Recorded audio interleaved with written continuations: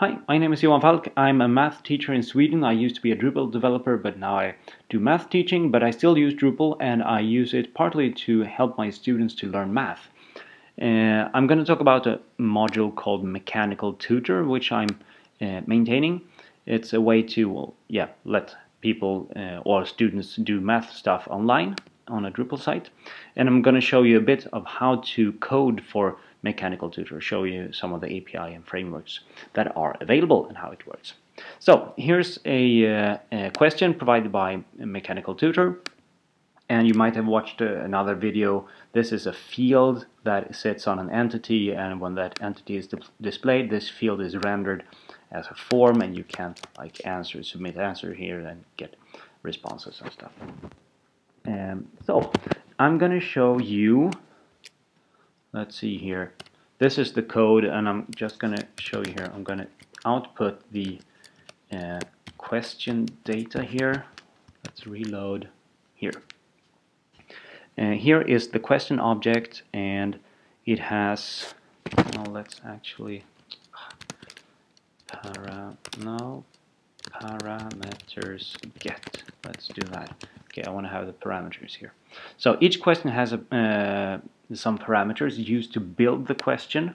These are stored in an array and in this case we have two parameters uh, called a and b and they have values 2 and 6 and you might figure out how these are used to build the question.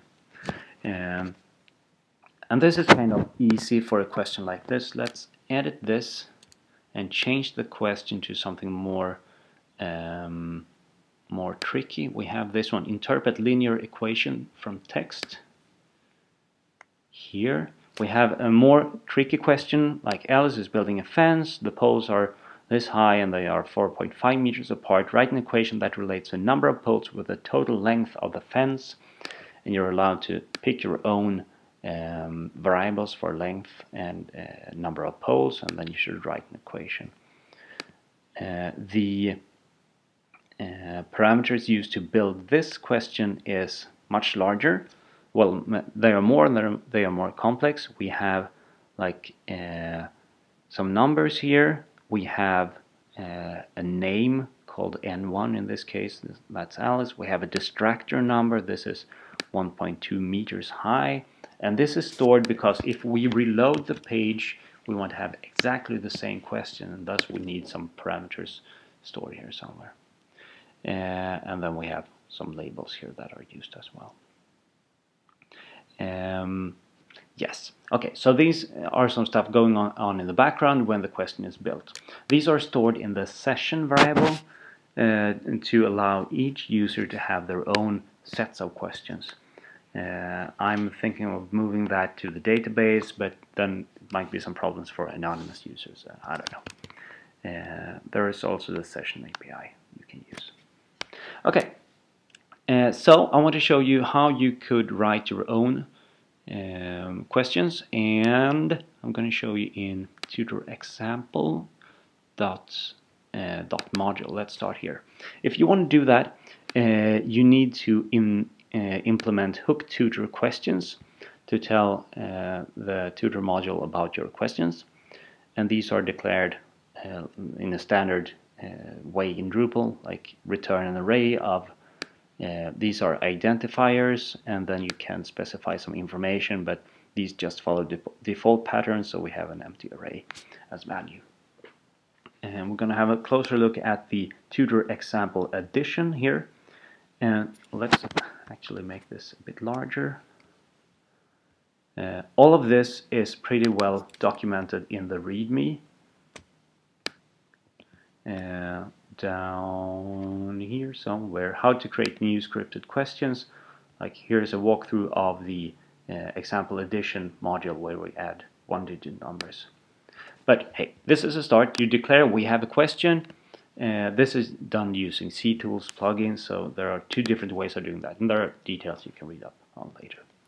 Tutor example addition and this is then by default found in a file called the same with the same name but with .inc so example tutor addition .inc let's have a look at that here Okay, and here's a class that is used to describe this um, question. Uh, it has a name that builds on the ID for the uh, for the question, but it's camel case and no underscores. Uh, should always extend tutor question or some subclass to tutor question.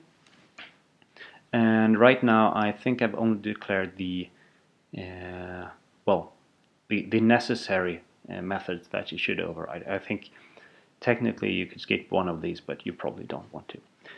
Nevertheless, uh, first one, label get, uh, defines the, the uh, name of this uh, um, question. We have parameters generate. These then generate all these tricky parameters. In this case, only two, uh, two random numbers between 1 and 9. Let's actually change this to, to the adding one digit numbers here. There.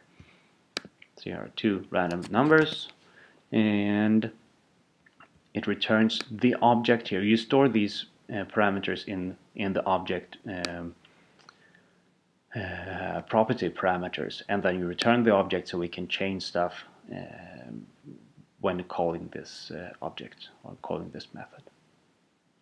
Uh, build question is sent a form this form here and this form is then populated with new stuff where you present the question. You could also uh, alter this box for answering. It's a text field by default and you could alter that to select boxes and whatever you want to have. Again, you should return the question object to allow chaining. Um, extract answer. When you submit here or someone submits the answer is extracted from from this um, well from the form and in this case uh, you just have the standard uh, text field so this is actually done by by the parent here if you want to uh, but I included this here uh, so you can still see that we extract something from the form and we store it in the property called answer on this object and then we return the object as usual to allow chaining and if you have a lot of uh, complex stuff in the answer, then you have more complex extraction method, uh, method here. And that's it.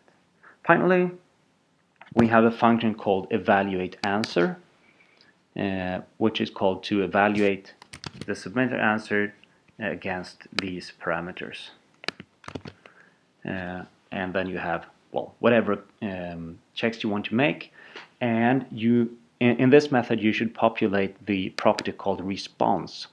And this uh, property should have, must have, uh, an object of the uh, type tu tutor question response, which contains some kind of code or number determining if the answer was right or wrong or uh, even invalid or almost right and, and things like that. Uh, it could also be let's see, incomplete. Yeah, well, so you populate uh, the response like that and uh, eventually you return the question object. And that's kind of it. Oops. Uh, so you can build more complex questions if you want to. I mean, this is kind of basic. Um, but this is the, the way of doing it.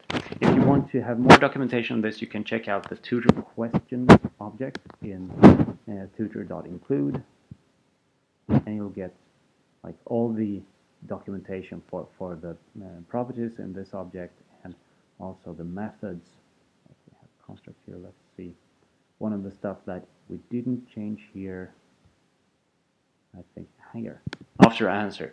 When the um, when a correct answer is uh, uh, submitted, we reset the uh, the parameters for this uh, um, for this uh, question object. So it, a new new set of parameters can be generated. I think this is uh, quite enough. I'll see you in another screencast at another day. Goodbye.